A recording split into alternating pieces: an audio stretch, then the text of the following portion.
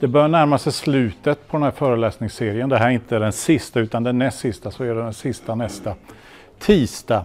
Och det som vi ska ta och snacka lite om idag, vad är det då? Jo, fortsättningen såklart på det här med del två då i kursen som handlar om objekt och hur vi kan skriva egna typer och lite arv och sådana där saker.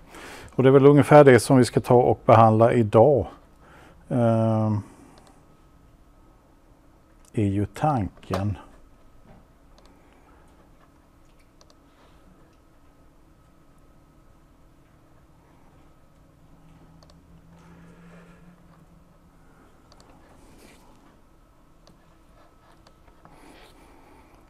För får väl göra er uppmärksamma på att den här förnyade examinationen den öppnar på torsdag klockan åtta. Då kan man då gå in och boka tid för ni som inte är godkända än så länge då på examination 1.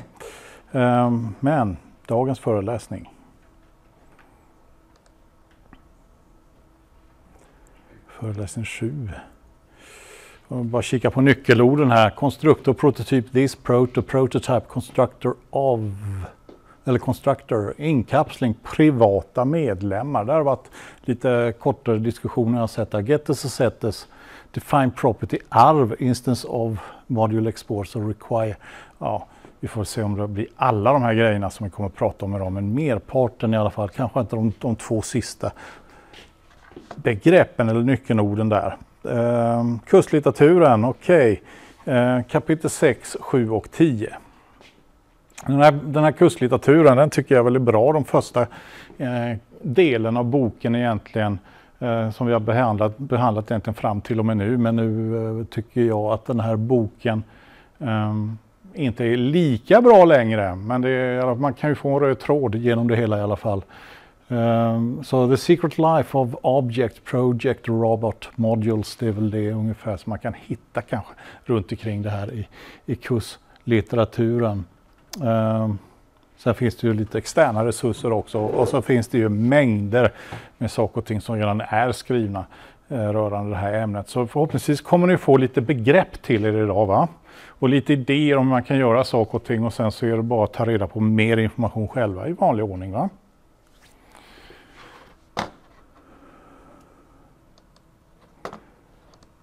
Föreläsning 7 hur som helst. Ja, vi ska väl ta och eh, titta lite på resan som vi har gjort egentligen fram till och med där vi befinner oss idag då, i alla fall rent föreläsningsmässigt. Uh, för jag menar, och då tänker jag på den här resan som jag gjort gällande objekt såklart. Va? För det är det som vi ska prata om uh, just idag. Uh, vi börjar med, med, med, ett vanligt objekt, helt enkelt alla överst där, som vi stoppar in två stycken egenskaper i här. Eh, en rektangel, hur kan vi beskriva en sån då? Ja, det kan vi beskriva med längden och bredden. va? Okej, okay, fine, bra, då skapar vi ett objekt som, som lägger ihop de här, pusslar ihop de här två stycken värdena i form av två stycken egenskaper i ett objekt och så ger vi dem ett värde då. Och sen så kan vi då ta och såklart också då eh, göra beräkningar med hjälp av de värdena som det här objektet har. I det här fallet då så multiplicerar vi längden med bredden och så får man ju då arean för den här rektangeln. Va? Det är ju den enklaste, enklaste, enklaste formen av ett objekt. Där har vi bara egenskaper. Men sen så tog vi ett steg till här då, där vi stoppar in eh, det som objekt kan göra också då va? inuti, det vill säga metoder. De kunde vi lägga till inuti objektet och det är det som det andra exemplet pekar på här. Fortfarande har vi två stycken egenskaper, properties, length och width. Eh, sen dessutom så har vi en metod då, method. Eh, för så fort som vi stoppar in den här funktionen från exemplet ovan inuti ett objekt, då kallar vi det inte funktioner längre, då kallar vi det metoder. Så då har vi en metod som heter getArea och eh, det är då vi springer på de här sakerna som vi helt plötsligt blir tvungna att skriva då, this. Och det ägnar jag ju en hel del tid åt för en vecka sedan och prata runt omkring this. För det är många som tycker det här med this är bökigt och svårt.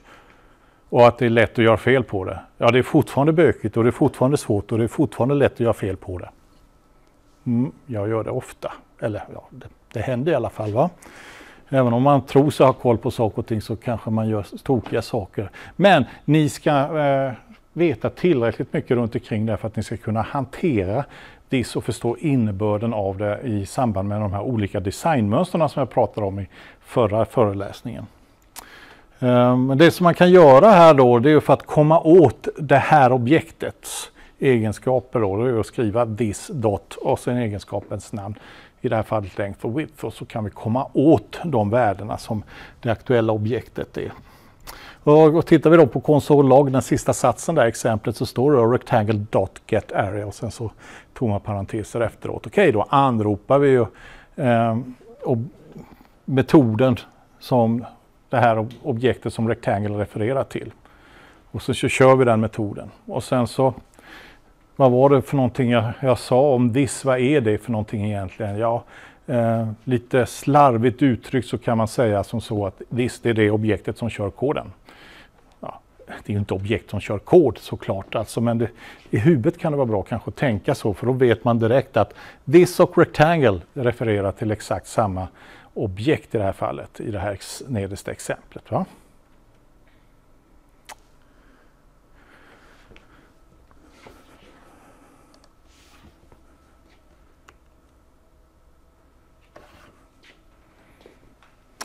Sen kom vi in på det här eh, med konstruktorfunktioner och helt plötsligt så började vi skriva våra funktioner med stor bokstav.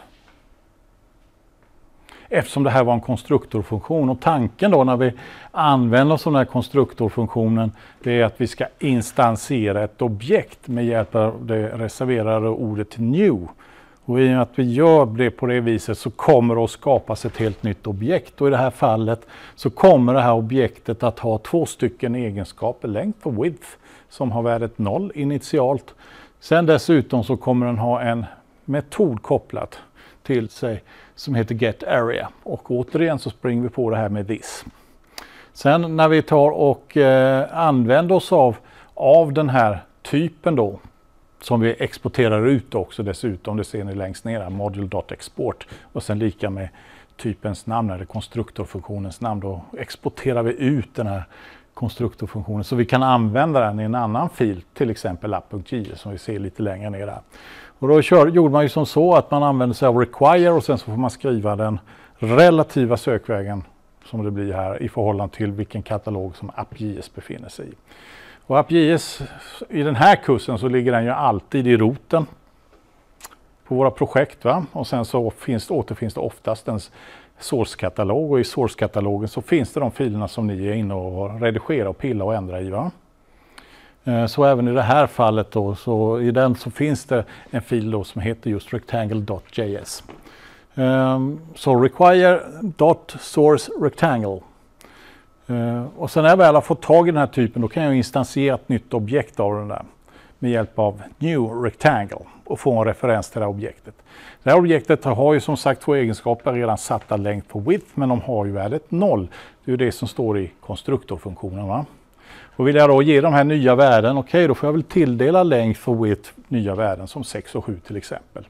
Och i och med att jag gör det på det här viset då, så kommer ju det här objektet som Rectangle refererar till ha två egenskaper som har värdena 6 respektive 7 och dessutom metoden då som heter getArea eh, som man kan anropa och få tillbaka den beräknade arean för det objektet som Rectangle refererar till.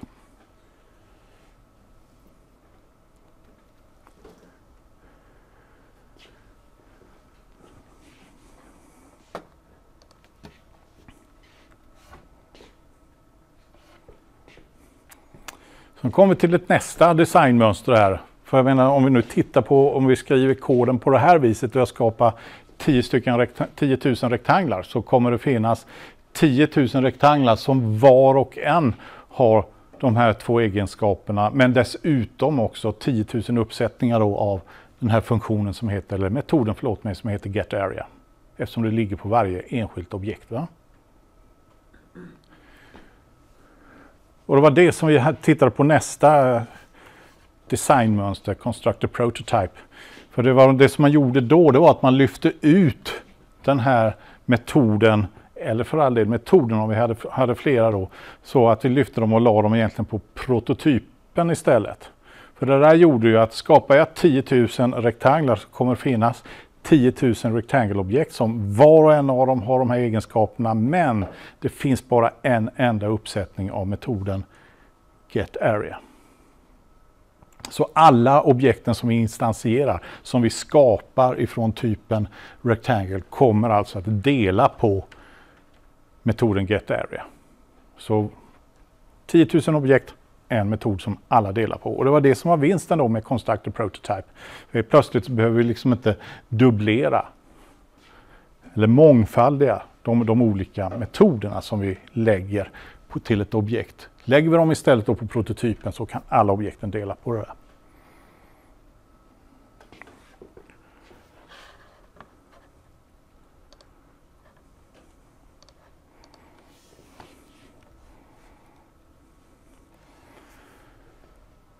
Så Construct a Prototype då, okej okay, det där kan vi faktiskt uttrycka på ett annat sätt nu mera.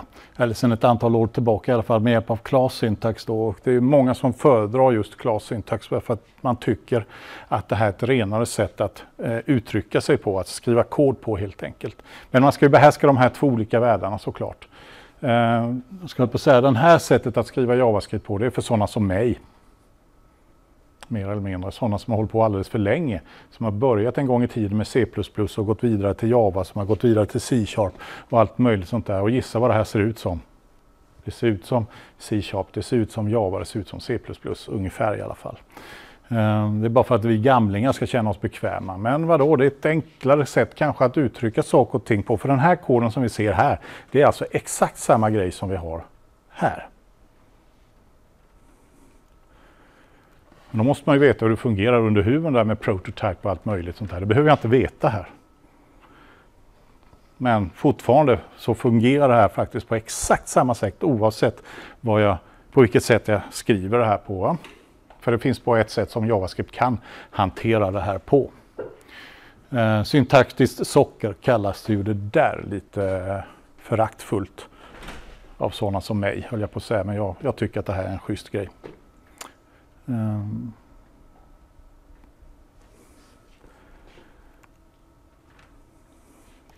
Hänger ni med på det här med prototypen då? Har ni någon bild av det? Om inte ni har det så kan ni få en av mig. Ehm, så här skulle man kunna ta och rita upp det här. Ehm, och det är väl alltid bra att ha några bilder i huvudet om man nu ska på något sätt försöka på det här att eh, koppla där uppe i hjärnan. Eh, vad är det för någonting som vi har här och vad motsvarar vad i bilden här? Det är kanske det första vi ska ta och reda ut här. Eh, jo, vi har ju först och främst en, en konstruktorfunktion här. Och det är ju den som är motsvarande det som vi har här vid Rectangle. Va? Den som är med blå. Sen dessutom, förutom den då, så har vi på Rectangle kopplat på prototypen en metod som heter getArea. Och det är den som vi hittar här nere i, som är lite grå va, längst ner till höger. Ehm, så då har vi väl det där utbenat lite grann. va.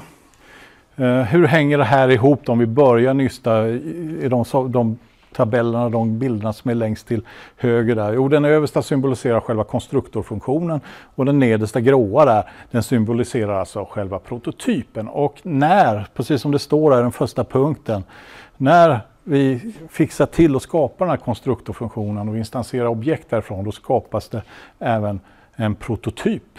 Så det här objektet som vi får innehåller massa information som gör att vi kan komma tillbaka till både konstruktorfunktionen för all del och även prototypen om vi så önskar. Um, men det där är ingenting som vi behöver bry oss om. Det där sköts om automatiskt oavsett om vi använder oss av Constructor Prototype eller om vi använder oss av Class Syntax. Det blir så här oavsett. Sen när vi kommer in då på ia.js där vi instanserar objekt, där vi skapar objekt, där vi skapar och instanserar objekt av typen Rectangle. Så tittar vi på den referensen här som jag kallar Rectangle 1 då så ser vi att den innehåller de två stycken egenskaperna, length och width. Sen så innehåller den dessutom en automat, alltså den, den, finns på automatik den här som heter underscore underscore proto underscore underscore. Och den refererar just till prototypen. Så eh, när man sen här lite längre ner skriver rectangle 1.getArea, hur fungerar det här då? Jo, då går man in, går ju så, så JavaScript in om jag uttrycker mig så, och letar i rectangle 1 efter finns det någon metod som heter getArea här? Nej, det gör det inte och då följer den prototypen. Alltså den här då, underscore, underscore, proto, underscore, underscore. Och så går den in i, i det här fallet då i rectangle.prototype och så, så letar den där och där hittar den getArea. Fine, bra, då hittar vi den här metoden som vi ska exekvera och så exekveras metoden. Och likadant fungerar såklart även när vi har vårt, vårt andra rektangelobjekt här som Rectangle 2 refererar till. Den går in och tittar bland sina medlemmar, sina egna medlemmar då, i, och hittar då längd för att den är 5 och width för att den är 4. Men den hittar ingen get area. Okej, okay, följer underscore underscore proto underscore underscore till prototypen där den hittar get area och där är det som så att den metoden exekveras. Så vi har två stycken rektangelobjekt men bara en enda getArea-metod. Varje rektangelobjekt har sina egna egenskaper.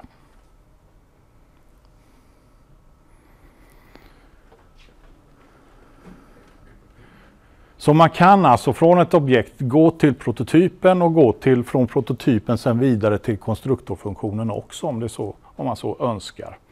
Nu är det väl så här att så fort som man springer på en egenskap, en metod eller någonting sånt där vars namn inleds med underscore och ännu kanske än högre grad och inlåst med underscore underscore, då ska man aldrig bry sig om dem som programmerare. För det vet man alla hur det fungerar imorgon egentligen. Utan de där, de finns där som, som hjälp för att mm, det här lite mystiska svarta lådan-systemet för att det, saker och ting ska fungera. Så det är ingen bra alltså att, att namnge sina metoder, sina egenskaper till underscore underscore någonting. Ingen bra idé, så gör inte det. Vi ska snart titta på när det kan vara bra att inleda en egenskap till exempel med ett underscore, men det kommer vi till.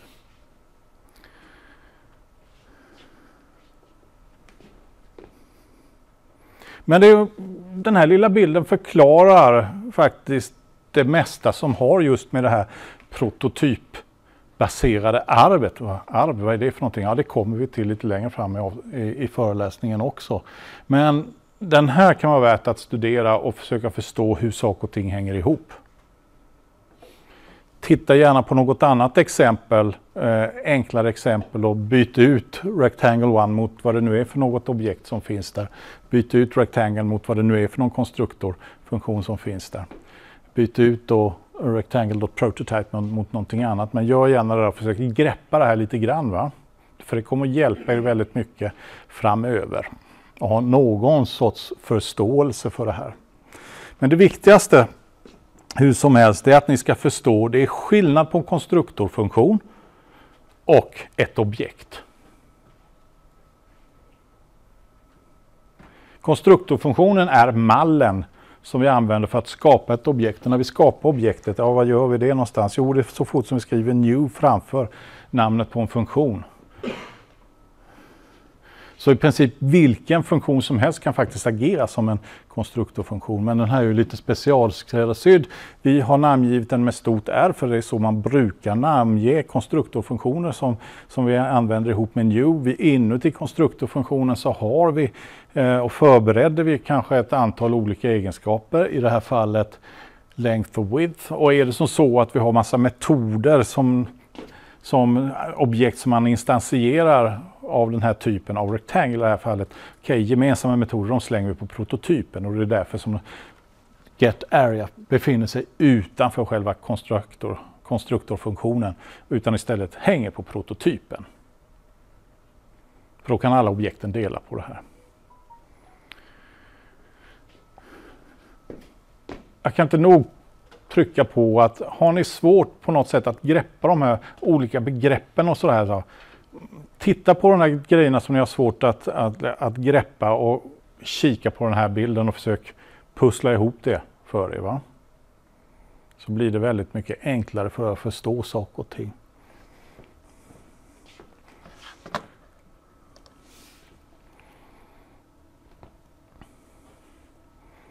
Okej, okay, då släpper vi det där för det var så långt som vi hade hunnit faktiskt. Jag ville inte visa den här bilden förra veckan utan det behövde ni smälta lite tyckte jag så därför så tog jag den nu. Och visade det här hur, hur, man, hur man skulle kunna se på det här i samband med just det här rectangle-exemplet. Men det finns ju andra bekymmer här i världen också. Det är ju inte alla som tycker det här är ett problem eh, Eh, med att vi har någonting som kallas då publika egenskaper. Och, och, och, vad menas med det? Vi kan ju gå tillbaka lite till det här exemplet, bara titta på, på Rectangle här. Så som den här koden är skriven så har vi två stycken egenskaper length och width. Som vi kan ge vilka värden då? Vilka värden kan vi ge length och width här? Ja, vilka värden som helst. Va? Det behöver nödvändigtvis inte vara number, men är man så korkad så att man ger eh, längd värdet 10 med bokstäver, alltså i form av en sträng, då får man ju skylla sig själv, va? typ. Mm. Det är inte så himla bra kanske, utan det här skulle ju vara, var kanske var, var schysst ifall vi alltid kunde vara säkra på att length och width innehöll ett värde av typen number. För det är bara då som get area fungerar ju, eller hur? Och sen så bör man koda en kilometer för att lösa det här problemet. Men hur många är det av er här som har hållit på i något starkt typaspråk? Java, C-sharp? Mm. Där har man ju inga, har man inte de här bekymren va? Utan det, liksom, det händer av sig själv på ett annat sätt eftersom vi har ett starkt typat språk. Ja, men har man den bakgrunden dock, då lockas man kanske i fällan att oj, herregud, jag måste ju liksom kontrollera och undersöka allting som JavaScript-programmerare så lutar man sig tillbaka och rullar tummarna och så tänker man så här, använder den som använder sig av den här typen den på fel sätt så får den skylla sig själv. Ungefär så är det. Lite tillspetsat. Men ibland är det ju faktiskt som så att vi är i behov av att, av, så att säga, inte ha publika egenskaper. För length och width i det här fallet är det som jag benämner publikt nu. Det finns inget sånt reserverat ord än i JavaScript. Men eh, ja, det hände inte i år och kanske händer det inte nästa år, men kanske 2021 så kan jag stå här och föreläsa om public och private. Vi får väl se. Det är stage free på de eh, förändringarna i, i standarden, men det är en annan historia. Men jag, kan, jag skulle ju kanske i alla fall på något sätt vilja resonera runt mina egenskaper om att jag vill att de ska kunna vara på, påverkbara så som jag gör här. Jag ska göra rectangle eh, och sen 6 och 7. Jag kan sätta det precis till vilka värden som helst. Jag kan komma åt de här egenskaperna genom att bara skriva, skriva rectangle 1 dot width tilldelas 53 eller vad som helst. Då. Den är publik med andra ord. Men då återgår vi till den här bilden. Det finns ju lägen då man kanske inte vill att det här ska kunna gå att ändra på eftersom ja, vi programmerare, vi liksom gör ju många misstag och då är det bra ifall vi utformar saker och ting vi skriver som eh, konstruktorfunktioner ihop med lite pro prototyphistorier här. Så att det inte går att göra fel, så att man inte kan använda det här på fel sätt. Så om vi har vår konstruktorfunktion här, die då, som får representera en tärning. Och sen så har jag bara skrivit där för att det ska vara extra tydligt att den här eh, tärningen minsann ska ha en egenskap åtminstone som heter face value. Eh, så har jag bara skrivit det på rakt upp och ner på det här viset. Det kanske borde stå tilldelas undefined där också, vem vet. Eh, och sen så har vi roll på prototypen här då, och det här betyder att så skapar jag sex tärningar så kommer det finnas sex stycken objekt med egenskapen face value Eh, och alla de här sex objekten kommer att dela på en och samma funktion roll eftersom den ligger på prototypen. Och eh, roll det den gör då, den gör precis det som den gjorde i, för en vecka sedan, det vill säga fixar ett pseudoslumptal mellan 1 och 6. Och that's it. Det är det den gör. Så eh, i app.is då kan vi använda oss av den här typen och då gör jag require på DAI då eh, på den modulen där tärningen finns i och sen därefter så kan jag skapa, instansiera objekt av den här typen med hjälp av new DAI. Va? Och då har jag DAI 1 och DAI 2 som refererar till två stycken olika DAI-objekt. När jag väl har skapat de här då har jag full tillgång såklart till roll och jag har full tillgång såklart till face value. Och jag kan sätta face value till vilka värden som helst. 42, ja varför inte?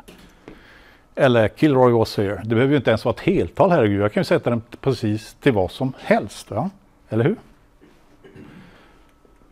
Och då kan man ju luta sig tillbaka och så säga då att ja, men då får väl programmerarna skylla sig själva om man vill göra det här. Men finns det något sätt som, som vi kan så att säga, tala om för den som använder sig av den här fantastiska typen DAI att det inte är tanken att vi ska tilldela face value ett värde rakt upp och ner på det här viset. För face value, du vill ju att det ska vara ett värde mellan 1 och 6 va? Och ingenting annat. Om vi nu har en sexsidig eh, tärning det vill säga. Men det finns ju såklart en lösning på det här. Eller en, det finns hur många som helst. Då.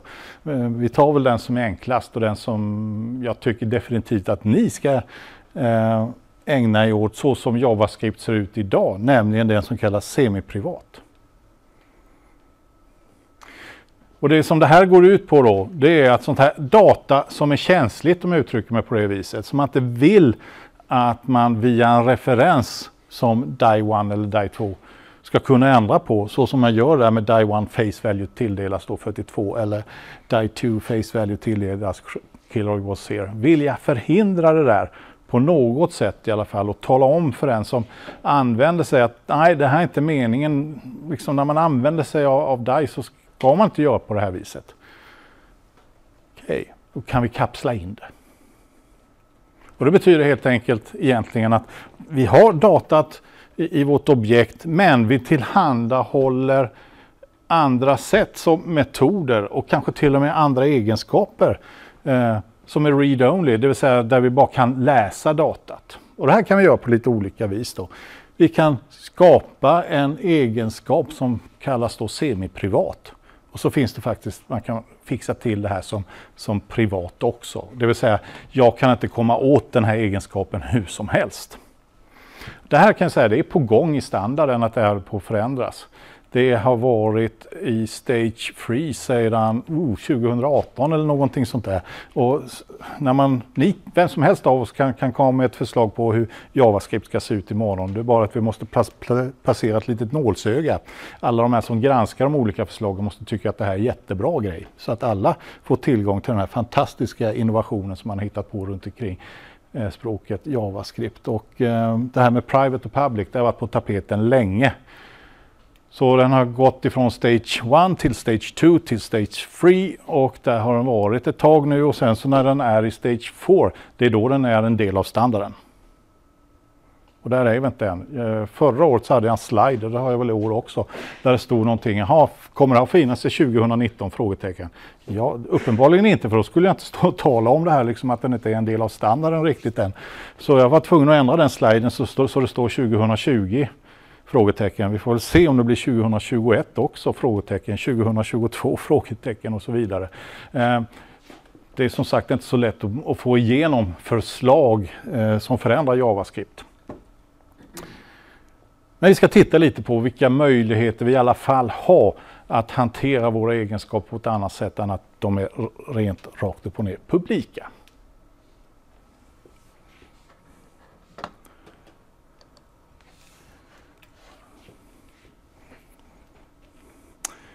Vi kan bara titta, börja nysta i ett litet exempel här då. Vi har en konstruktorfunktion som heter foo. Vi kan skicka in tydligen lite data till den här också i form av, vi har något som heter param. Och eh, param, vad är dess räckvidd då? Det här handlar lite om scope. Och så ser ni kommentaren längst ut efter function foo param så står det slash slash private. Jo, det betyder helt enkelt jag, när jag väl anropar och exekverar koden och kört koden färdig då för konstruktorfunktionen foo, ja då, jag kommer inte åt param på något sätt. Den är bara synlig inuti själva funktionen. Det vill säga, det här är dess räckvidd. Mm. Den anser jag, då säger jag att då, då är den här privat. Okej? Okay? Så fort som vi använder oss av this dot och så tilldelar vi den där något värde då, param i det här fallet. Det spelar ingen roll alltså. Men this oh så public, om man nu inte fattar engelska så kan jag bara säga att den här är väldigt publik. Jag glömde o. Oh, oh, den är väldigt publik. Va? Med andra ord, vi kan komma åt den här. Så som ni ser här längst ner där, där vi börjar med konsolloggandet så står det konsol.log foo oh, os och public och så blir, kommer det ut 21. För det är det som vi skickar in när vi skapar eh, ett objekt av typen foo. Med andra ord, wow, vi har full tillgång till den här. Den är publik. Okej? Okay? Vi kan komma åt den via referensen foo. Så via referensen foo så kommer vi åt en egenskap rakt upp och ner. Det här är ju inget konstigt, det är så det har varit hela tiden. Det är bara att jag sett en annan etikett på det här nu då. Public eller publik. Okej? Okay?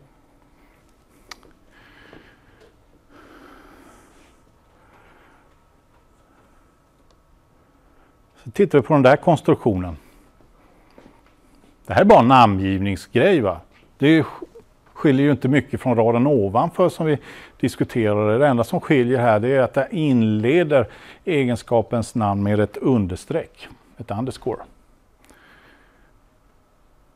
Men den här betraktas som privat av sådana som vet någonting om JavaScript. För det är nämligen på det här viset som man namnger egenskaper som man ska betrakta som privata. Det vill säga, jag ska aldrig, aldrig, aldrig använda de här via en referens. Så man ska aldrig, aldrig, aldrig skriva på det här viset och liksom hämta värden eller tilldela de nya värdena eller vad det nu är. För då vet man aldrig vad som händer egentligen. Då gör man det på egen risk. Programmeraren får skylla sig själv. För den här alltså understrecket allra först och före egenskapens namn talar om väldigt, väldigt, väldigt starkt att oh, använd inte den här egenskapen rakt upp och ner. Okej? Okay?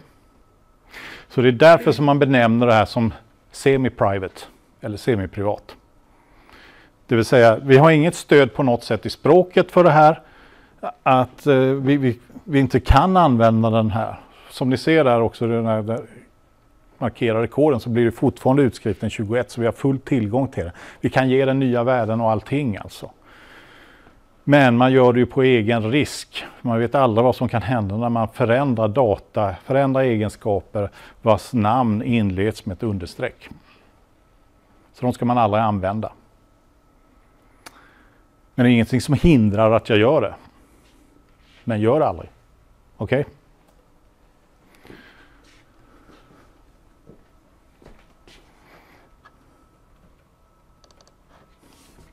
Ja.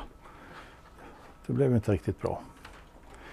Om vi nu tittar på Secret här. Det är någonting som jag betraktar som privat. För den här lever så att säga bara så länge som vi eh, befinner oss inuti konstruktorfunktionen FOA.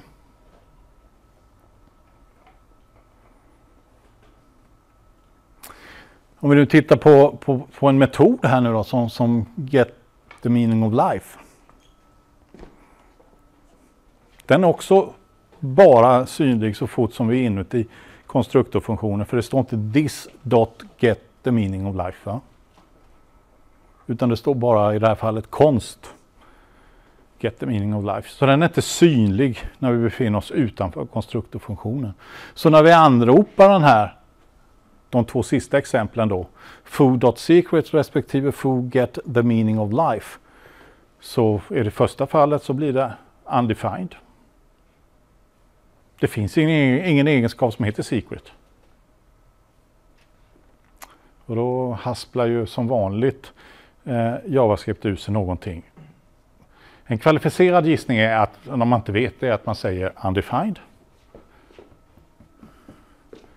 Vet man inte, då säger man att eh, ja, men okej, det funkar inte. Ja, det kanske kastar ett undantag, det kanske blir not a number, det kanske blir eh, undefined. Ja, något blir det i alla fall. Va? Det, kan, det kanske blir null. Ja, Mm. Men det funkar inte i alla fall. Men undefined blir det faktiskt när man efterfrågar en egenskap som inte existerar. Och sen då när vi an försöker anropa en metod som inte finns tillgänglig då, som inte hänger på eh, prototypen eller man har skrivit this dot get meaning of, get meaning of life. Okej, okay, då kastas ett undantag, ett exception. Och då blir det typer Och så står det någonting där, Fugit meaning of life is not a function. Så tittar man, fasen visst, det är en funktion visst. Ja, men då måste man börja fundera på, hmm, är den här synlig via en referens till ett objekt som är av typen foo? Nej, det är den inte eftersom det inte står this dot get the meaning of life, utan den här är privat. Hänger ni med lite på det här, vad, som är, vad jag menar med när jag pratar om publik då och privat? Ja, inte alla kanske, men eh, någonstans måste vi börja. Så eh, okej okay då, då måste man börja implementera saker och ting för att kunna komma åt de här delarna kanske som är privata. Då kan man köra med getters och setters som man lite slarvigt brukar uttrycka det. Det handlar helt enkelt om att man skapar en metod som heter get någonting och en metod som heter set någonting. Va? En för att hämta värden och en för att skriva värden. Då. Det där kan man göra på rätt många olika sätt. Men om vi ska ta, ta liksom och eh, ta tillvara den här kunskapen och sen så återkopplar vi det här till egentligen den här tärningsklassen då, så som från, så från, som från början såg ut så här, där det bara står this face value, okej? Okay?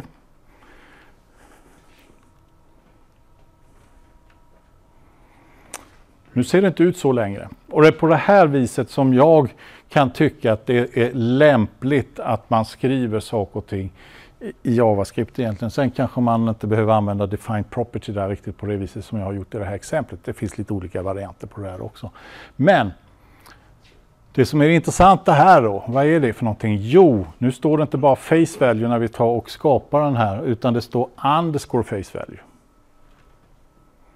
Som andra ord, en som använder sig av en referens till det här objektet upptäcker att det finns en metod som heter roll, upptäcker att det finns en egenskap som heter underscore face value, vet med en gång, aha, jag ska inte använda mig av den här underscore face value.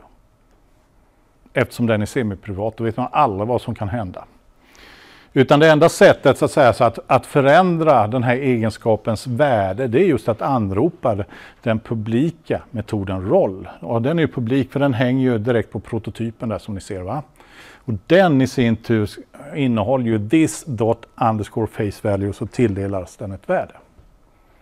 Och det är på det viset som face value får nya värden hela tiden. Förlåt mig, jag ska uttrycka mig korrekt här. Det är på det här viset som underscore face value får sina värden och ingenting annat. Va? Då kan vi garantera att underscore face value har värden som är mellan 1 och 6 och ingenting annat. Det kommer inte ha värdet 42, det kommer inte ha värdet Kilroy was here. Om det inte nu är någon som är dum nog att använda sig av den här egenskapen vars namn inleds med ett underscore, för då, då gäller ju ingenting av det där längre. va?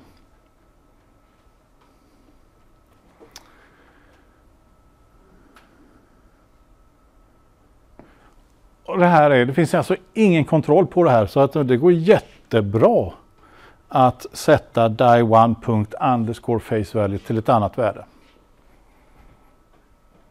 Det finns inga kontroller på alltså att det inte sker utan det överlåter man då att program, till programmeraren då att eh, nyttja, missbruka, ja, man gör saker och ting på, på egen risk där så fort som man gör det. Men frågan är då, okej okay då, då vill vi inte att, att underscore face value ska användas hur ska vi då kunna komma åt det här värdet som underscore face value har som är antingen 1, 2, 3, 4, 5 eller 6? Jo, vi skapar en ny publik egenskap. Eller metod, men i det här fallet så har jag använt mig av en egenskap. Och, och, den skapas då med hjälp av Object Defined Property. Och var någonstans vill jag att den här ska ligga då? Ja, då lägger jag den på prototypen så därför så står det die.prototype.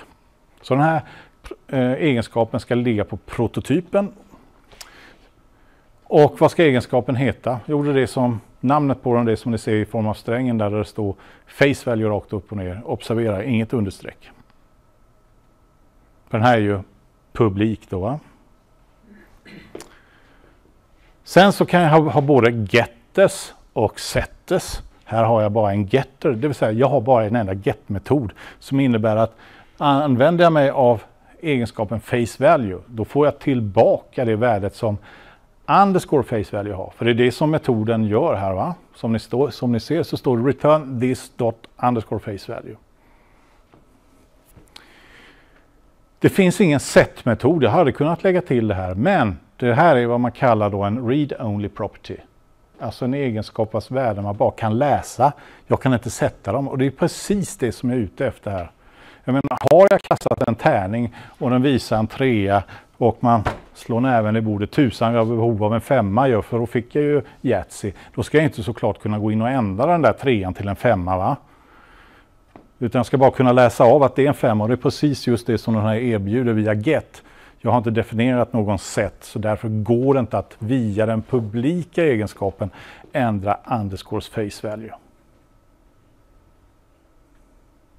Och det här sättet att göra saker och ting på, det anses vara good enough. Så liksom när ni då tar, tar, börjar titta lite på kod som finns där ute som ni kanske har behov av att använda och sånt där så tittar man lite närmare på hur, vad döljer sig under huven bakom de här objekten som man kanske instansierar av typer som någon annan har skrivit. Då kanske man ser att det kryllar av sådana egenskaper som heter underscore någonting. Använd inte dem, utan då får man titta på metoderna som erbjuds eller kanske egenskaper som erbjuds också. Som med, genom dem då så kan man då manipulera och förändra statusen på ett objekt. Va? Men använd aldrig underscore, hmm, vad det nu står för något namn på någon egenskap eller för all del på någon metod också för den delen.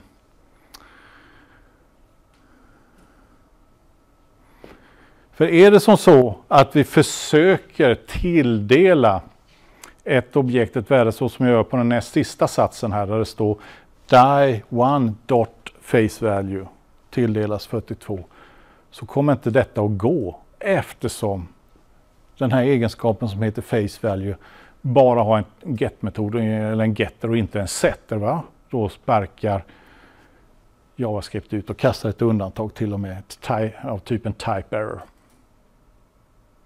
Och det är ju rätt så schysst. Helt plötsligt får vi lite återkoppling. Aha, du använder det här objektet på ett sätt som det inte är tänkt. Här är däremot skrivet då, precis som det står eh, två satser ovanför eller någon sats ovanför här, så står det console.log die1.facevalue. Inga som helst bekymmer. Den kan läsa saker och ting. Va? Men man kan inte skriva. Semiprivat. Oerhört vanligt. Om jag står och pratar om tre år, då kommer jag väl säga så här gjorde man en gång i tiden innan vi hade det här med public och private. Ja, men ja, vi är inte riktigt där än. Och framförallt så kommer den här typen av kod finnas länge. Så när ni springer på de här sakerna om 15 år, då ska ni komma ihåg, vad var det Mats sa på den där föreläsningen tisdag eftermiddag eller efter lunch? Mm. För det kommer att gälla om 15 år, det också.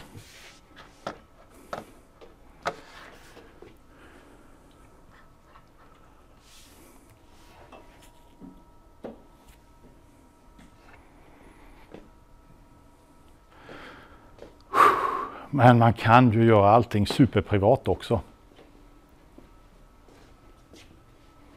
Skillnaden mot förra bilden här, och det här tycker jag är... det beror på hur nojig man är. Om man vill stänga ute de här möjligheterna överhuvudtaget. Eh, står det lätt eh, underscore face value där uppe va? och sen så inuti konstruktorfunktionen här så har man objectifying property. Nu, står det liksom, nu lägger jag inte den här egenskapen på prototypen. Nu lägger jag på varje enskilt objekt för det står diss där. Va? Och det innebär att skapar vi en miljon tärningar, varför vi nu skulle vilja göra det, men just skulle vi göra det så skulle varje, var och en av de här miljonen tärningarna ha just den här defined propertyn som heter face value på vart och ett av objekten. Det här är ju ett litet avvägande som man vill göra. Hur pass nojig är jag? Litar jag på mig själv? Litar jag på de som kommer använda min kod? Eh, vill jag helt och hållet utestänga möjligheterna att manipulera det här? Eller tror jag mig helt och hållet kunna utestänga möjligheterna att manipulera med saker och ting? Ja, då kan man skriva kod på, på det här viset. Det är möjligt. Då skapar man helt enkelt en egenskap inuti konstruktorfunktionen, precis som det står här. Eh, en getter som bara returnerar och sen har man en set och nu börjar det bli intressant det här. För det är så här som set-funktioner eh, brukar se ut alltså. Nämligen att man vill ha någon kontroll över vad det är för några värden som man kan tilldela den här. Och då kan vi titta lite på den här funktionen, vad som händer och sker inuti den här. Ja, för det första så det, det, det första som jag är intresserad av här det är ju att den här bara ska uppenbarligen kunna ha heltal eller tal som är, av, ja, som är heltal helt enkelt. För jag har aldrig slagit en, en tärning och fått resultatet 4,3. Inte någon annan av er andra heller tror jag. Utan det är verkligen heltal. Så det är det första som man måste göra här. Det är att tolka det här heltalet då med hjälp av parsint. Så det som vi skickar in ska tolkas som ett number och så ska vi ha talbasen 10.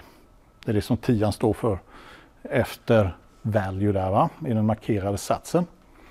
Hade jag skrivit 2 där istället så hade det blivit binärt. Hade jag skrivit 16 så hade det blivit hexadecimalt. Hade jag skrivit 8 så hade det blivit oktalt. Sen kan jag inte fler tror jag. Eh, men 10 där så blir det decimalt i alla fall. Sen har vi väl konstaterat att aha, vi får ju ett värde här som är ett heltal. För number.parsint kastat undantag om inte det här funkar. va? Um, eller förlåt mig, det är det som vi kollar sen. Då har vi ju number is integer. Så kontrollerar vi om det här, är det här ett, ett, ett heltal. Så om det inte är ett heltal, okej, okay, då kastar vi ett undantag. Om det här är ett heltal men det är mindre än ett, ja, då kastar vi också ett undantag. För att kasta en tärning och få noll, det har jag nog aldrig fått heller. Uh, och sen så, ha, så kollar, kollar, vi också så att det inte är större än 6. För jag menar, är det inte ett heltal, det är ett värde som är mindre än 1 eller det är ett värde som är större än 6, då är det inget giltigt värde som vår sexsidiga tärning kan ha. Va? Okay? Då kastar vi ett undantag. Throw new error. Face value must be, must be set to an integer between 1 and 6. Och kastas det inget undantag som medför att vi lämnar den här set-funktionen, den här seten, då vet vi att int value här nere, det är okej, okay, det är safe, det är 1, 2, 3, 4, 5 eller 6. Och då kan vi tilldela det till vår högst privata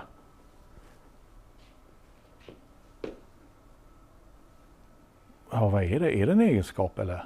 Nej, högst privata variabel som vi har här, konstruktorfunktionen, det är en lokal variabel här inuti. Eh, för att förklara hur det där fungerar måste jag säga closure och det vill jag inte säga så det sa jag inte. Uh, typ i alla fall. Men på det här viset så kan jag alltså skapa en setter som, som validerar uh, och kontrollerar ett värde innan vi ger det till en egenskap. Så blir det säkert det här. Va? Sen på prototypen så slänger vi roll som vanligt.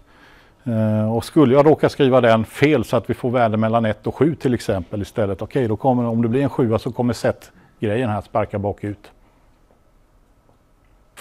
Det var ju skitbra. Så nu när man försöker tilldela då die1.face value för lika med 42, ja, det går inte tyvärr att göra det här. Nej, det måste vara ett värde mellan 1 och 6. Det, det, är ingenting som hindrar att jag förändrar en tärningsvärde med hjälp av det här såklart. Alltså, då måste jag stryka min set-funktion helt och hållet i så fall. Men det här tycker jag, det är att dra det ett snäpp för långt. Men det är möjligt, jag vill bara visa på möjligheten. Samma grej kan vi faktiskt uttrycka med eh, klassyntax också och de som har fritidsproblem kan ju ta en kik på det. Um, och det här vill jag inte egentligen prata om, men det kommer jag prata om efter pausen för nu tar vi 10 minuter.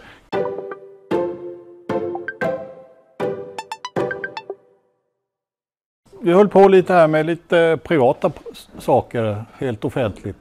Um, men semiprivat tärning med klass den kan ni väl ta och titta på lite på egen hand. Um,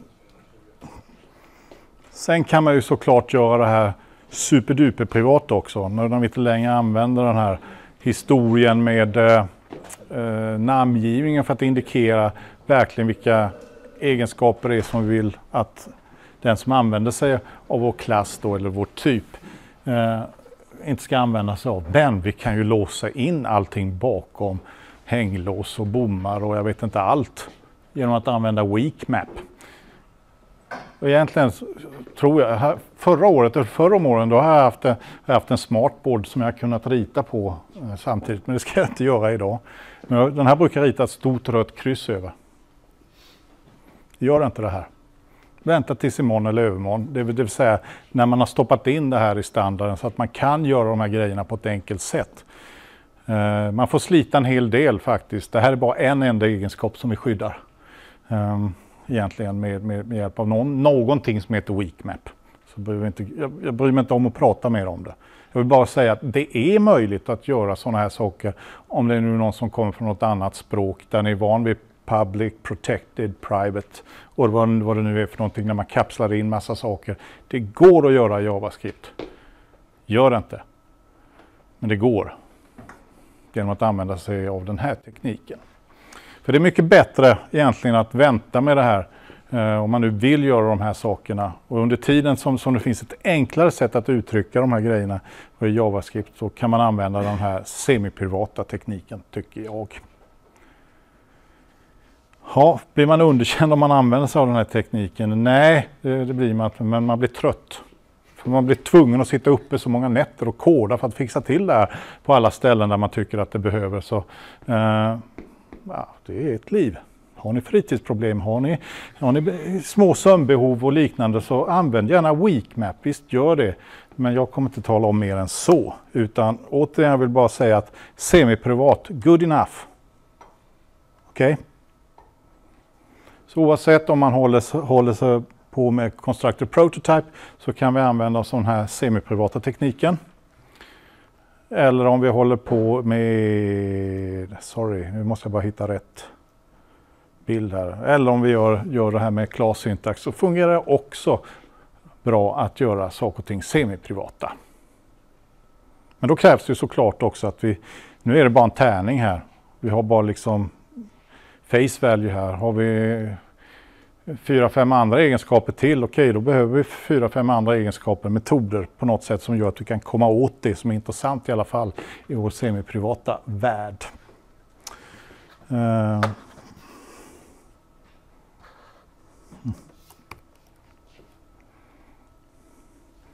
Det kan vara kul att se hur, hur det här tänkt att se ut i framtiden då.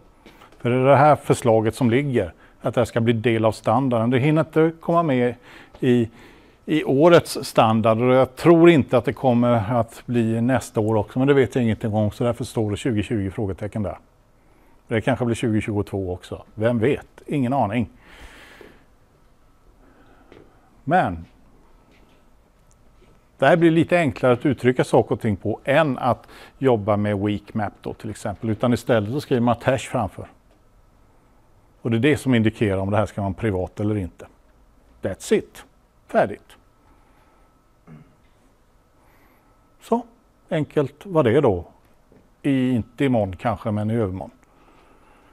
Det är därför som jag säger, lägg, lägg ingen tid på det här med Weekmap om ni inte är helt nojiga och vill, vill gräva ner i det där och liksom utmana er själva på en högre nivå än vad den här kursen kräver. Så gör gärna det då, men ni ska veta att det finns runt hörnet enklare sätt att uttrycka det här på. Och det är även på gång att man ska kunna göra det här beträffande metoder också så att vi ska kunna ha metoder som är privata dessutom. Bara vi namnger dem med hash allra först. Men det kanske ligger ännu längre fram. Vi får se. Jag vet inte riktigt. Jag blev inte klokare på när jag gick in och läste runt omkring eh, läget beträffande de här sakerna heller. Eh här kan man ju till exempel se sådana här saker som är på gång in eller eh, som har kommit in alla redan. Och så ser ni 2018, det är sådana grejer som har trillat in här 2018. Sen har vi lite andra grejer, någonting med Jason, vad det nu är för någonting 2019. Någonting 2020 med String Match All, ja, vad det nu kan vara för någonting. Men jag hittar tyvärr ingenting angående Public och Private än så länge i den här listan. Va?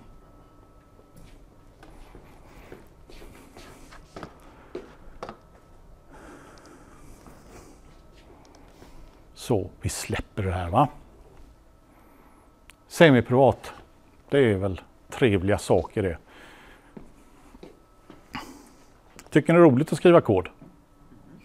Tycker ni det är roligt att skriva exakt samma kod? Nej, men det är bra att ni inte tycker att det är kul, även om det kanske kan vara kul inledningsvis. För uh, göra saker och ting som man redan kan, det kan ju vara lite givande på något sätt. Man får lite självförtroende, en klapp på axeln och sådana här grejer. Va? Men det kan ju faktiskt uppstå behov där man verkligen vill att det ska vara exakt samma sak men ändå inte. eller hur vi nu ska få ihop det här. Vi kan väl ta och titta på två, två, två saker här. Vi har person och vi har student.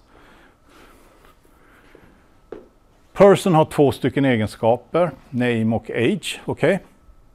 Det ser ni där i konstruktorfunktionen. Det står this.name tilldelas name, det vill säga parametern name som vi skickar med då, tillsammans med age också då, i samband med att man instanserar ett objekt då, av typen person. Och på person så hänger en prototyp då, eh, uh, toString. På prototypen så har vi toString där jag, ja, om det nu var ett jag då, så hade jag this.name gett värdet Mats då är 52 år. Ja, just det. 52 blir jag i år. Eh, så jag Mats är 52, jag är bara 51 nu, just det. Ja, 51 år. Ja, så då har vi den delen där. Så person, håll ordning på namnet, håll ordning på, på, på eh, hur gammal man är och eh, sen så någon form av presentation. Alltså to string, det använder vi alltså för, för, för, att få en textbeskrivning av ett objekt. Va? Okay? Och I det här fallet då så är det intressant att visa namnet på något sätt och åldern på något sätt också dessutom. Ja, då har vi utrett person. Eller? Då tittar vi lite närmare på nästa här. Då. En helt annan fil som exporterar ut en typ då som heter student. Ja, en student har uppenbarligen ett namn. En student har någon ålder och en student är antingen på campus eller inte. Okej? Okay? Starkt förenklat. Väl tillrättalagt. Ja, jag vet. Men namn och age och is campus då. Och så har vi här tydligen också en to string metod som hänger på prototypen. Så skapar vi 146 studenter så finns det 146 gånger tre egenskaper plus en metod. Som alla studentobjekt gemensamt nyttjar. Va? Okay? Och den här det är just den som heter toString som vi använder oss av för att skapa en textbeskrivning av ett objekt. Och jag då Mats läser på campus och är 51 år. Då, Okay? Det är väldigt snarlikt det här som redan finns det uppe i person.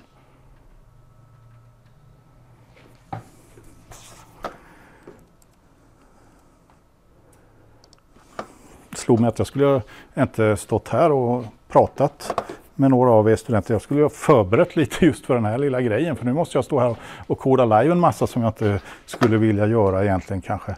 För det här kommer ta lite tid så jag ska skapa en ny bransch här för den här föreläsningen. Det här vet ni inte vad jag håller på med. Det vet inte jag heller knappt. Jo, det vet jag väl. Eh, sen så ska jag ta här och skapa en ny katalog. Source ska den ju heta va? Och i Source ska jag ta och skapa en fil som heter med stor bokstav då person.js. Sen så ska jag väl göra som så att vi ska ta och kopiera den där koden. Och lägga in där use strict. Ah, inte semikolon, ajabaja. Ah, så där spar vi den. Jättebra. Och sen så ska vi ta och göra som så att eh, jag gör en kopia på den där. Den är ju nästan likadan. Jag kanske kan spara några tangenttryckningar, vem vet? Och den ska då heta Student är ju tanken. Och då är vi inne i Student och sen så ska vi ta byta namn på den där från Person till Student. Så där. Sen så var det lite andra grejer som, som skulle vara annorlunda så ja det var ju den där delen där va. Så is campus och is campus borde väl rimligt vara någonting sånt där och sen så var det någon annan grej också. Ja, det var väl den här historien som skulle in som på den här istället. Och så lite luft emellan. Och så lite stockgrejer och sånt där, men det struntar jag i här nu. Va? Allt bara för att vi ska kunna se på det, det som egentligen är intressant, nämligen koden i sig.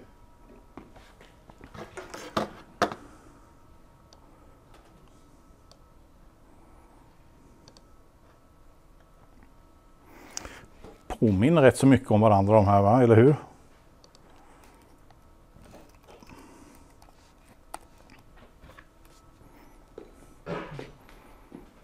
Vad skulle man kunna säga att det här bryter mot för princip i vissa avseenden?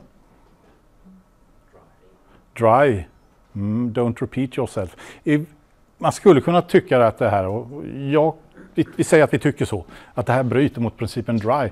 Jag har redan skapat name, jag har redan skapat age här. Va? Varför göra det en gång till? Det här är väldigt, väldigt avgränsat, enkelt exempel. Tänk om det vore som så att person här innehöll 10 stycken egenskaper och 30 metoder. Och tänk då om student då innehöll då 31 egenskaper och eh, 30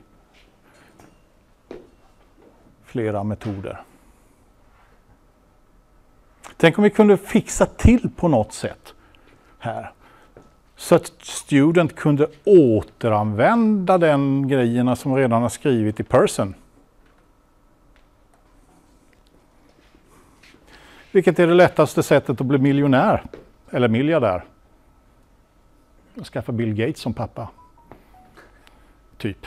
Ehm, jag menar så, vi kan ju redan återanvända det som någon annan redan har jobbat upp, va? eller hur? Det kan vi göra här när vi kodar också. Vi kan ju redan liksom nyttja det som någon annan har skrivit genom någonting som heter arv. Så om vi kunde på något sätt få student att ärva från person, för man kanske kan säga att en, en, en student är en person, eller? Ja, så är det ju onekligen. För är det som så att vi säger att en student är en person, då borde det vara som så att allting som gäller för en person gäller för en student också, plus lite andra grejer som till exempel is campus. Okej? Okay?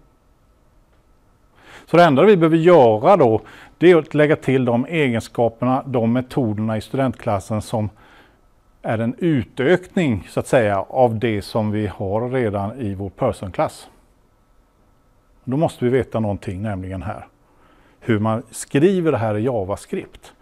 Hur gör vi JavaScript för att, som man kallar det här, att student ska ärva ifrån person? Hänger ni med på konceptet? För det är det mest centrala här. Nämligen att, att de flesta programspråk erbjuder det här med, med arv. Och beträffande hur det här fungerar i JavaScript så brukar man inte bara säga att JavaScript har ett arv utan JavaScript har ett prototypbaserat arv.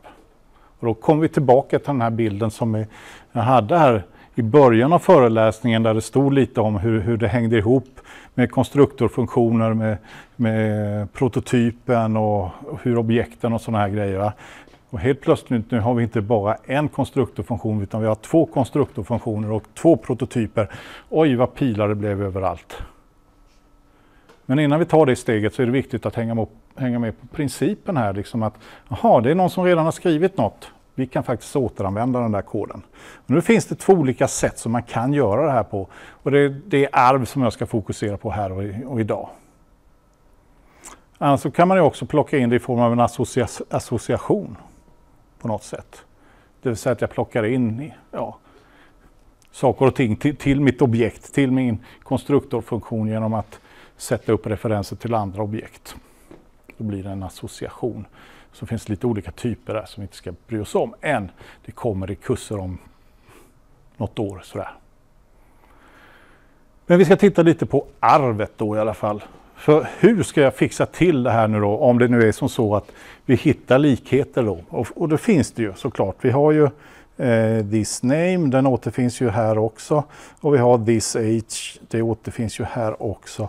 Vi har to string här. Ja, till nöd så skulle det vara, kunna vara som så att skapa en student så kan jag väl Ja, student är ju en person också så studenten kan få presentera sig med namn och vilken ålder den har. Va? Okay. Eh, men nu har vi gjort någonting här då på rad 9 där i eh, här i student. Vi kör över den versionen som finns i klassen vi ska ärva ifrån. kommer vi snart till hur man skriver sådana här saker.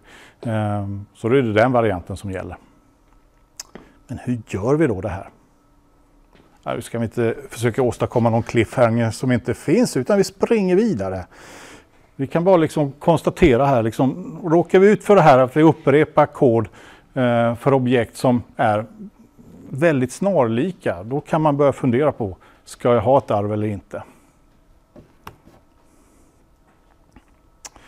För det som det här handlar om, det är återanvändning av kod. Och det här är alltid intressant. Jag menar, har jag skrivit en funktion en gång så skriver jag inte den koden som finns i den funktionen på något annat ställe i min, i min applikation. Va? För jag har redan skrivit den koden en gång, suttit och plågat mig genom att skriva den här. Jag har konstaterat att den här koden är felfri.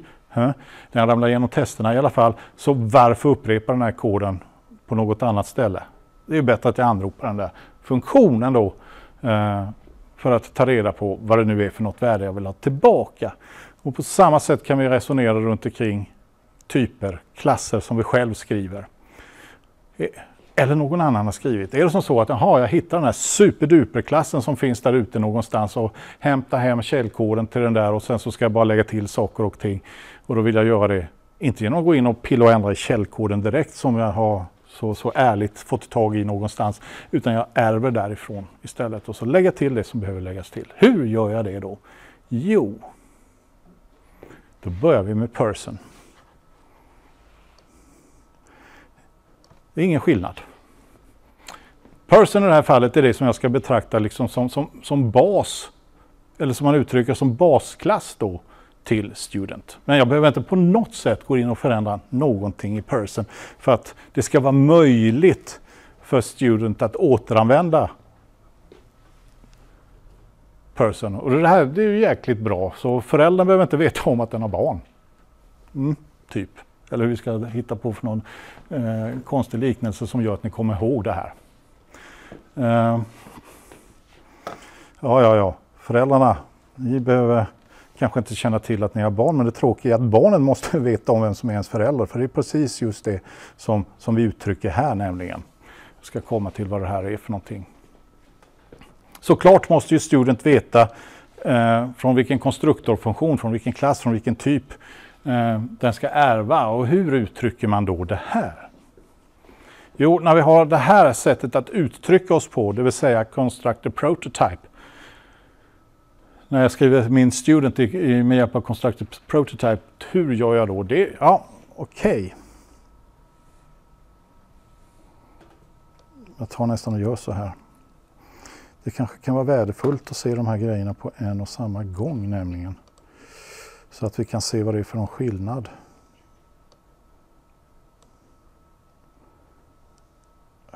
Cancer, fasen. Student inheritance eller det, det är inte den jag vill ändra på, jag gör det så helt enkelt. Student där och sen så har vi student så.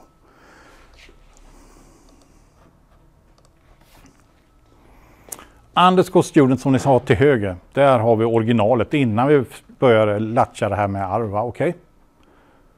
Och så ska vi se vad det är för någonting jag behöver förändra här egentligen nu då i den som finns till vänster för att den här ska ärva ifrån person. Okej? Okay? Först och främst måste jag plocka in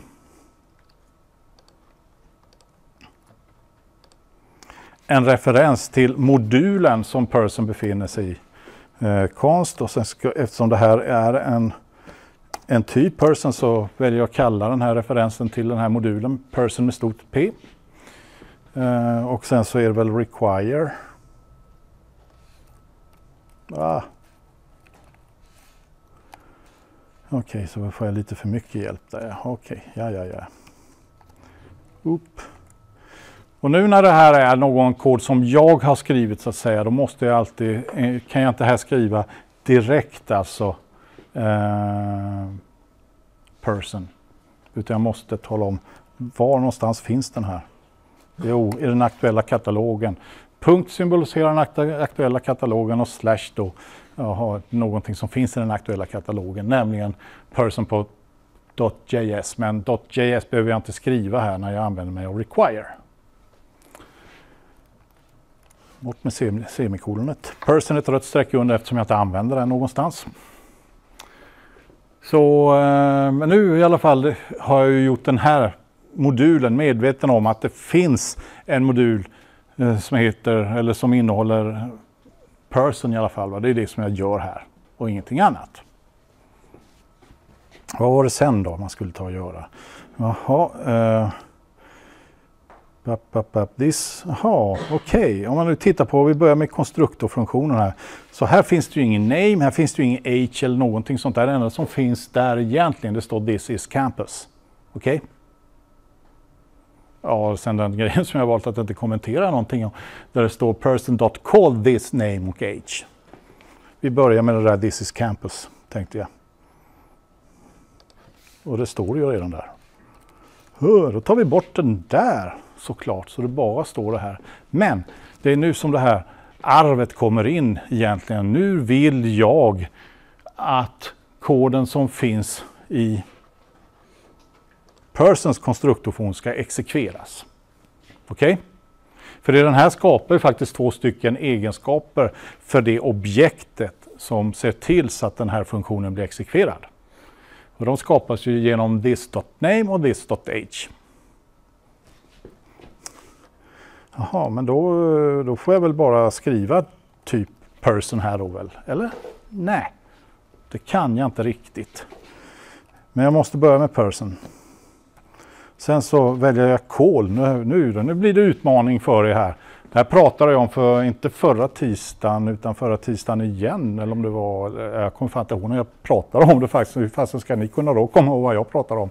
Ja, ja, ja. ja, som sagt, det var en utmaning. Men man kunde använda sig av kol, man kunde använda sig av någonting annat som jag nu har helt och hållet glömt bort i huvudet. Men kol kommer jag ihåg i alla fall. Varför ska jag då använda mig av kol då? Jo, med hjälp av kol så kunde jag se till så att den funktionen som står innan kol det vill säga person, för det är ju en funktion, eller hur? Det står ju function, person. Med hjälp av call så kunde jag bestämma vilket objekt det var som skulle betraktas som this när den funktionen körs. Så med hjälp av kol kan jag tala om för när vi exekverar koden i person, this, vilket objekt ska den referera till? Ja, vilket objekt ska den referera till? Jo, det här objektet som vi håller på att initiera och skapar. Va? Och vad, vilka värden ska den initieras med? Jo, den ska initieras med name och den ska initieras med age.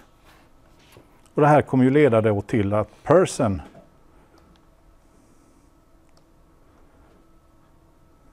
kommer att anropas. Va? Så på rad 6 där i student så står det person.call this name och age. Vad händer? Jo, den här funktionen kommer att exekveras och den har inte tre parametrar utan den har två. Så i call där, den första parametern som vi anger det är just vad this ska betraktas som. Sen de som följer därefter det är de argumenten som vi skickar över till parametrarna name och age i person-funktionen. Okej? Okay?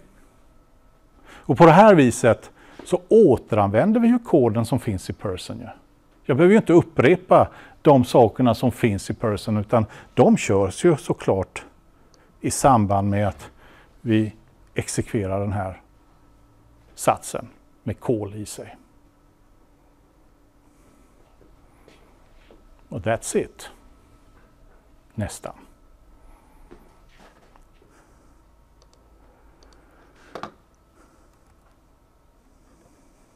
För det saknas nämligen två grejer.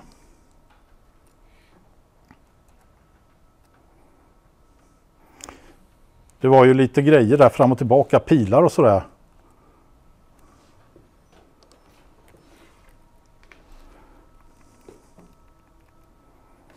Mm, det var de här pilarna lite fram och tillbaka. Nu har jag ju soppat till det här fullständigt när jag ropar kol och fan hans moster. Jag måste ju fixa till det där. Så att, va?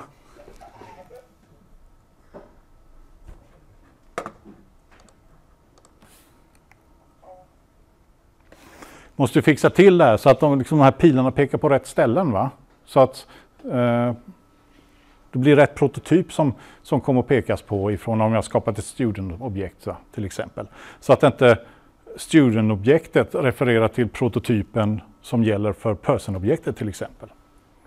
Det är sådana grejer jag måste fixa till här nu också.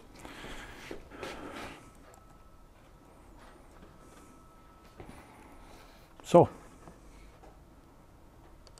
Så, som bonderöven brukar säga, vad det nu jag kan inte säga det där. Ah, ja, ja, ja. Uh, Student.prototype, object create person prototype. Ah, ja, ja, okej. Okay. Ärver prototypen från person. Aha. Och student.prototype.constructor återställer konstruktorn till studenten.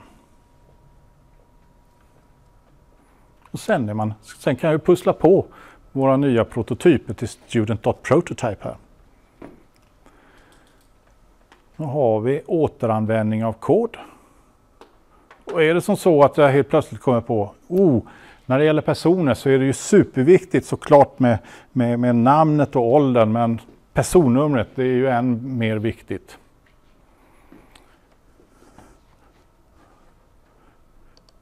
Okej, okay, fine, bra. Det enda jag behöver göra här då det är väl practice.pid, Personal Identification, PIN ska det vara, sorry. Uh, personal Identification Number. Ja, vad det nu är för någonting. Såklart måste jag fixa till så att vi har ett, en parameter till där eh, utöver name och age som står där för att jag ska kunna ta hand om det här. Men grejen är att lägger jag in nya egenskaper här, nya funktioner, ja, jajamensan, Student har ju full tillgång till det här rakt upp och ner. Jag behöver bara ändra på ett enda ställe. Och det är det som är det fina med arvet. Dels är det som så att jag kan lägga till saker och ting till någonting som redan existerar och det så att säga smittar av sig på alla som, som ärver då. Som har ärvt ifrån person. Innehåller liksom person en kilometer kod. Jag behöver inte upprepa den där kilometern kod i student utan jag ärver allt ifrån person. Och sen så kan jag lägga till de här grejerna som är specifikt för en student. Ni kommer ju inte komma ihåg att man är tvungen att skriva exakt på det här viset med person call och, och student prototype object create och student prototype.constructor och, och så vidare. Va? Det kommer ni inte komma ihåg. Det kommer ni inte ihåg nu. Ni kommer inte ens ihåg när ni sitter och läser det här. Men ni ska komma ihåg arv, vad det är för någonting. va? Eller inheritance på, på eh, engelska eller amerikanska. Så heter det här grejen inheritance, arv. För är ni medvetna om att det här finns, ja då kan ni ju ta reda på, liksom, aha, jag har JavaScript, inheritance, eh, eh constructor, prototype, Uff, så får man jättemycket eh, träffar på det här, hur man ska skriva för minsann för att åstadkomma det här. Va? När ska man använda det här då? Ja, när man tycker det är lämpligt. Såklart. Eh, Ponera här nu att ni håller på att jobba med den sista examinationsuppgiften och där är det er fritt helt och hållet hur att lösa den här uppgiften på något sätt. Skulle det vara som så att ni råkar ut för att ni sitter och knackar massa kod i en modul och sen sitter ni och knackar eh, massa kod i en annan modul och de där grejerna sammanfaller väldigt mycket, då kanske det kan vara bra att komma ihåg, ah, det fanns något som heter arv. Jag kanske skulle kunna använda ett arv här. Eh, och sen så på examinationen så, shit också, klockan är fem minuter kvar till deadline, jag hinner inte göra det här. Jag skickar in det som det är. Blir man underkänd då? Nej, det blir man inte. Det finns inga sådana krav i den sista examinationsuppgiften. Men däremot så ska ni såklart veta vad arv är, även om ni kanske inte tillämpar det och använder er av det i den sista examinationsuppgiften. Och framför allt, det här är jävligt bra att kunna kurser som kommer. Och för att inte tala det som kommer efter kurserna, det vill säga efter utbildningen när ni kommer ut i verkligheten.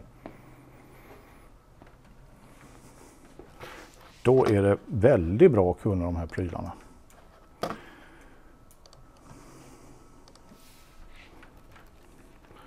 Var var jag någonstans? Var jag på 16? Har hunnit så långt tror jag? Mm. Det här med arv då, okej okay, vi har köpt det här konceptet. Det, det, finns lite detaljer som man måste liksom fixa till på något vis för att det här ska funka. Fine, bra. Eh, det man kan börja fundera på här nu då. Oh, det här exemplet är Constructor Prototype. Vad händer när jag vill ha class syntax då? Ja, vad händer då? Jo, då blir det enklare. Tycker jag i alla fall. Här uppe så har vi class person constructor to string och sen exporterar vi den här typen, den här klassen då och sen så har vi student.js. Vi börjar med den här require.person, uh, eh, slash person. Okej, okay. same same. Sen blir det slightly different. Vill jag då att vi har att vår student ska ärva ifrån från person så har JavaScript lånat ett lite reserverat ord från Java som heter extends. Så okej, okay, student ska utöka, eller hur vi översätter det här, till utöka person. Okej, okay, fine, bra, där har vi arvet. Sen för att det här ska fungera så, så när vi använder oss av klassyntaxen då, den här konstruktorfunktionen, ja den får vi uttrycka i form av en constructor istället. Och i constructorn här så är det superviktigt, pun intended, no, eh, super name. Här innebär helt enkelt att vi anropar, vilken då? Jo, konstruktorfunktionen, eller ja, i basklassen. Det vill säga konstruktorfunktionen som finns i person. Va? Super name age. Här finns det ingen liksom call this och sådana här grejer. Äh, det, det, det blir dolt. Det behöver vi inte veta om hur det här fungerar utan det, det blir faktiskt enklare att uttrycka det på det här viset. Men fortfarande är det exakt samma saker som händer som i bilden som jag visade tidigare. Vi har vår toString som överlagrar eh, i student där som överlagrar den toStringen som, förlåt men som överskuggar den toStringen som finns i person. Vi kör över den varianten. Jag skulle kunnat få tag i toString här inuti toStringen som finns här nere så hade jag kunnat faktiskt köra den här metoden. Hur då, tro? Superdot to string. Då kommer jag åt saker och ting ifrån den som jag ärver ifrån. Så vi kan uttrycka det där både med constructor prototype och med class syntax. Class syntaxen surprise blir lite renare. Hmm. I det förra exemplet så visar jag hur man ärvde mellan två stycken olika typer skapare med Constructed Prototype. Den här visar hur jag uttrycker saker och ting mellan ett arv mellan student och person och i båda fallen så har jag class syntax. Måste det vara så då? Nej, så behöver det inte vara. Jag hade faktiskt kunnat använda, skriva den här person-typen i form av en constructor prototype och det hade gått lika bra i class-syntaxen att, att göra en utökning av den. Så det spelar ingen roll, det är transparent. För det är samma sak under huven alltså, även om det ser väldigt annorlunda ut.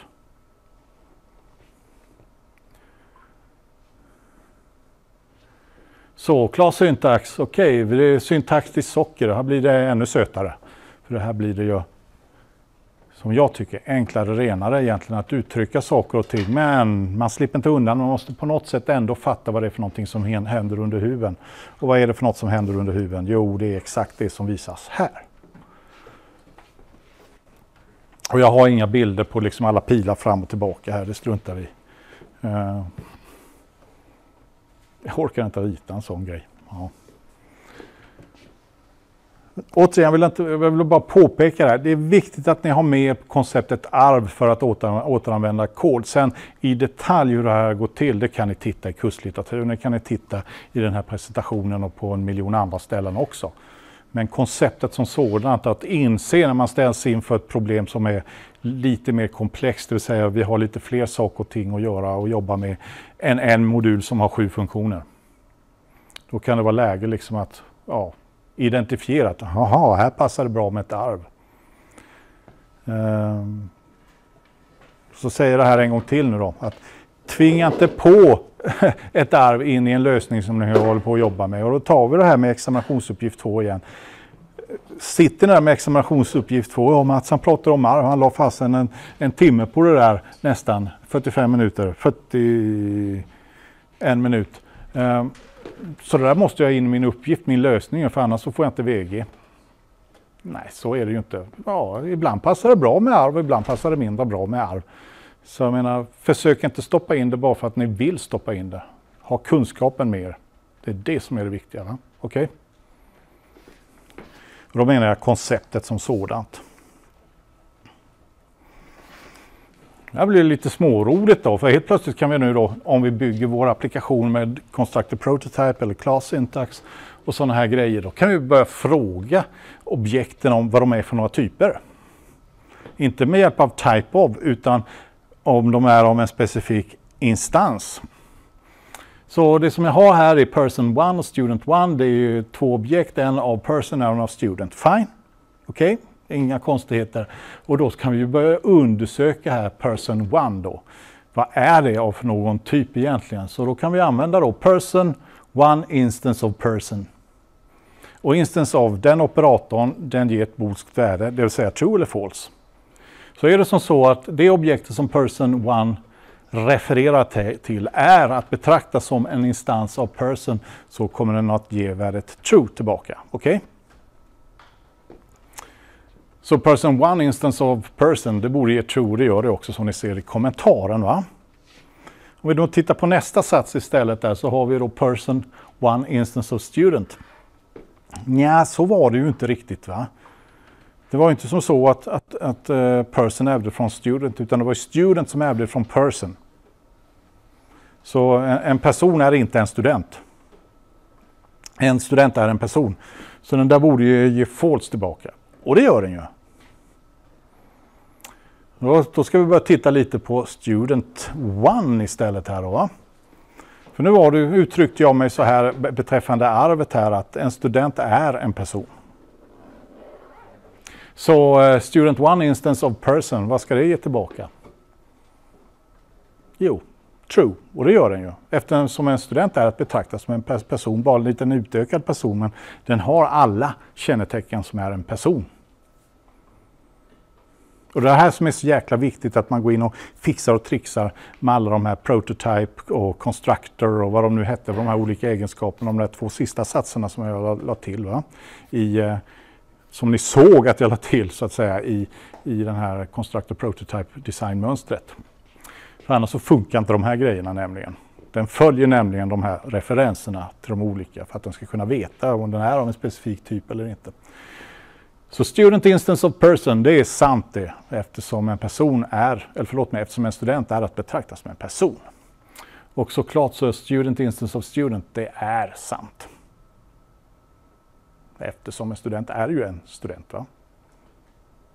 Så förutom type of då så kan vi faktiskt ta reda på om vi skapar en egen typ, en egen klass eh, och vi instansierar objekt av den där typen så kan vi med hjälp av instance of, of undersöka vad är det här för någon typ egentligen.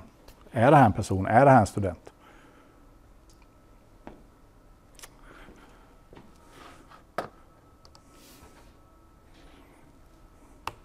Så 30 sekunder kvar och mer än så har jag inte tänkt att ägna åt den här bilden faktiskt. Eh, så vän av ordning så, ja, ja, ja, vi behöver inte hålla på med constructor prototype, vi behöver inte hålla på med, med class syntax, vi kan uttrycka det här på lite andra sätt. Eh, och det här finns det väl många olika benämningar på och jag menar länkning kallar man det här av någon outgrundlig anledning. Eh, det är det här OLOO eller om det var OOLO eller vad det nu var för någonting det hette det här. Ehm, men det går, går att uttrycka arv även, även i den historien och eh, man kan väl kanske jag ska inte gå in i detalj på vad det här är egentligen och hur det fungerar. Det, det enda jag kan säga att eh, det här sättet att uttrycka det på, det kan man ju säkert skriva på många olika sätt och den delen som jag tänker framförallt på det är Object Create här. För med hjälp av Object, object Create så kan man skapa en kopia av ett objekt. Um, ja, det kan man göra på lite olika sätt det där ja. Så det som person maker här, eh, create person, det anropar ju den här grejen som finns där uppe som heter create person. Va? Eh, och det den returnerar det är ju liksom ett eh, objekt som har age och value som egenskaper uttryckta som på ett sådant sätt, vi har verkligen full kontroll på de här egenskaperna eh, när man skriver dem på det här viset. Hur ofta är det man gör det här då? Jo, när man förbereder den här föreläsningen ja, typ en gång om året. Nej, skämt åsido, det är inte så himla ofta. Men återigen, vill man göra saker och ting eh, så går det faktiskt att göra det i JavaScript, även om det kanske blir lite stökigt i slutändan. Men det, allt går, brukar jag säga, eftersom allt är bara ettor och nollor, eller hur? Vi lever i ett och nollornas värld. Eh, Men hur som helst, man kan alltså uttrycka arv på, på flera olika sätt. Oh, den där är slutbilden. Så, nu har jag ont i halsen så tack för idag.